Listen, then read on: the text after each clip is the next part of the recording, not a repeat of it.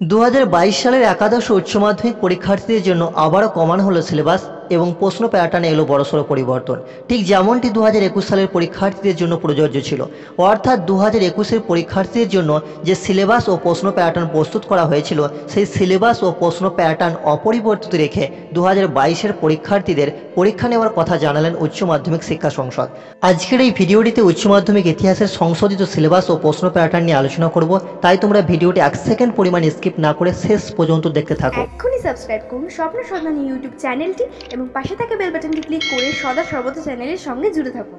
ইতিহাসের যে তিনটি অধ্যায়কে সিলেবাস থেকে রিডিউস অর্থাৎ বাদ দেওয়া হয়েছে, তার মধ্যে প্রথমে যেটি দেওয়া হয়েছে দেখো situating colonialism and imperialism in the nineteenth and twenty century অর্থাৎ ইতিহাসের দ্বিতীয় অধ্যায়। ঊনবিংশ ও বিশ শতকে উপনিবেশিকতাবাদ ও সাম্রাজ্যবাদের প্রসার এই অধ্যায় থেকে কোনো এমসিকিউ এসএকিউ বা বড় প্রশ্ন পরীক্ষায় আসবে না। সম্পূর্ণ অধ্যায়টিকে সিলেবাস থেকে বাদ দেওয়া হয়েছে।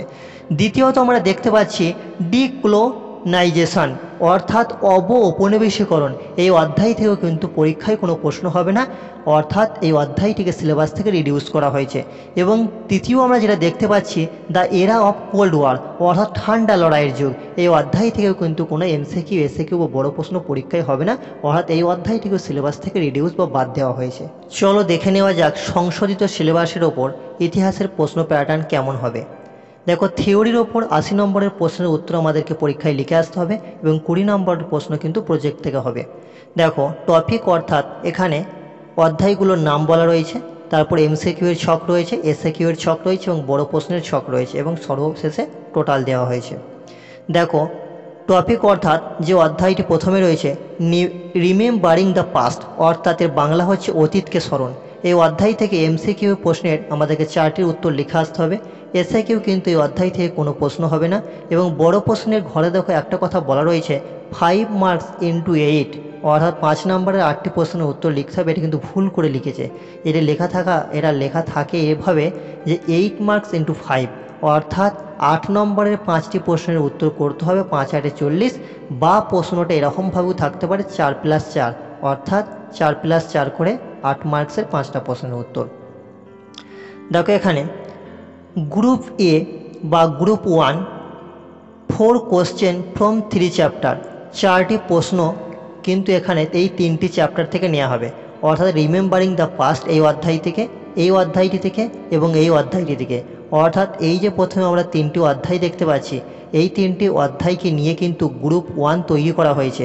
যেখান থেকে পরীক্ষায় বড় প্রশ্ন আসবে চারটি এবং যে কোনো আমাদেরকে তিনটি প্রশ্নের উত্তর কিন্তু করতে হবে। অর্থাৎ এই গ্রুপ এ থেকে কিন্তু তিনটি প্রশ্নের উত্তর আমাদেরকে করতে হবে কমপক্ষে এবং গ্রুপ বি থেকে কিন্তু চারটি প্রশ্ন দেওয়া থাকবে। যে কোনো দুটি প্রশ্নের উত্তর আমাদের করতে হবে। অর্থাৎ তিন আর দুই পাঁচ, এই পাঁচটি প্রশ্নের উত্তর আমাদেরকে পরীক্ষায় লিখে আসতে হবে এবং সর্বমোট বড় প্রশ্নের একটির মান যদি আট হয় তাহলে পাঁচটি করে আসতে হবে পাঁচ আটে চল্লিশ এবং এমসিকিউ এসিকিউ মিলে চল্লিশ নাম্বার থাকবে।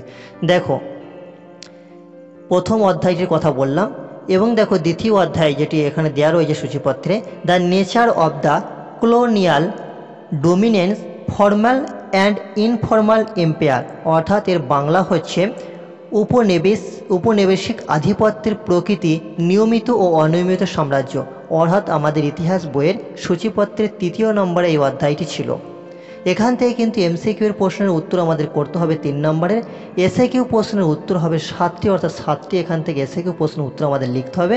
এবং এখান থেকে বড় প্রশ্নের কথা বলতে গেলে প্রথমেই তোমাদেরকে বলে দিলাম যে এই অধ্যায়টি এই অধ্যায়টি এবং এই অধ্যায়টি, অর্থাৎ পরপর যে তিনটি অধ্যায় আমরা দেখতে পাচ্ছি, অর্থাৎ প্রথম অধ্যায়, তৃতীয় অধ্যায় এবং চতুর্থ অধ্যায়, উচ্চ মাধ্যমিক ইতিহাস বইয়ের সূচিপত্রের প্রথম অধ্যায়, তৃতীয় অধ্যায় এবং চতুর্থ অধ্যায়। দ্বিতীয় অধ্যায় কেন বলছেন? কারণ দ্বিতীয় অধ্যায়টিকে সিলেবাস থেকে রিডিউস করা হয়েছে।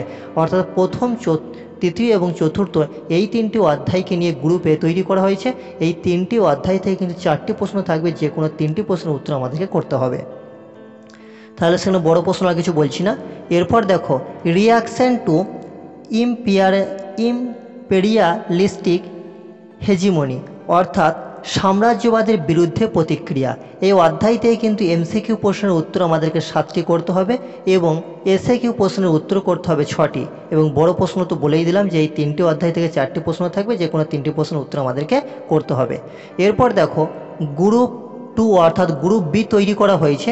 যে দুটি অধ্যায়কে নিয়ে সেই দুটি অধ্যায় হলো উচ্চ মাধ্যমিক ইতিহাস বইয়ের সূচিপত্রের পঞ্চম অধ্যায়, অর্থাৎ ঔপনিবেশিক ভারতের শাসন এবং ষষ্ঠ অধ্যায়, দ্বিতীয় বিশ্বযুদ্ধ এবং উপনিবেশ সমূহ এই দুটি অধ্যায়কে নিয়ে কিন্তু গ্রুপ টু অর্থাৎ বা গ্রুপ বি তৈরি করা হয়েছে। যেখান থেকেও কিন্তু এই দুটি অধ্যায় থেকে কিন্তু চারটি প্রশ্ন আসবে, যে কোনো দুটি প্রশ্নের উত্তর আমাদেরকে করতে হবে বা লিখে আসতে হবে।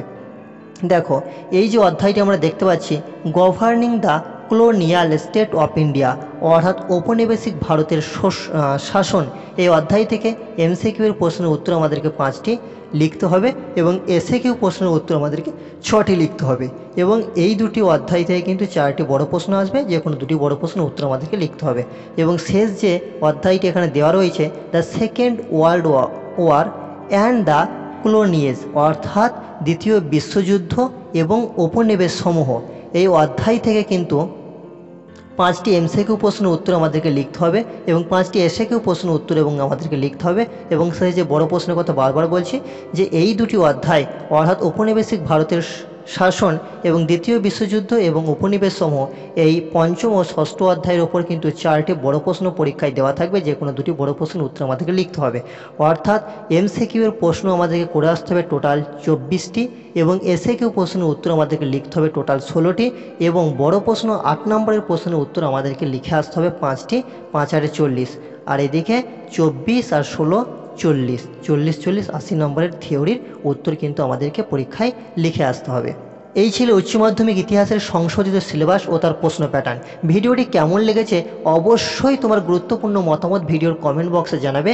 ভিডিওটি ভালো লাগলে অবশ্যই একটি লাইক করবে এবং এই ধরনের শিক্ষা সংক্রান্ত ভিডিও পেতে এক্ষুনি চ্যানেলটি সাবস্ক্রাইব করে পাশে থাকা বেল বাটনটি অন করে রেখো। আবার তোমাদের সঙ্গে দেখা হবে পরবর্তী কোনো ভিডিওতে। সকলে ভালো থেকো, সুস্থ থেকো। Okay, bye.